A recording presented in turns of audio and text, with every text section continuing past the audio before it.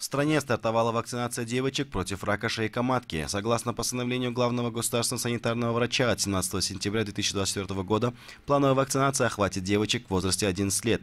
Также будет проведена дополнительная иммунизация для девочек в возрасте от 12 до 13 лет. Вакцинация будет проводиться в медицинских кабинетах школ после получения информированного согласия от родителей или законных представителей.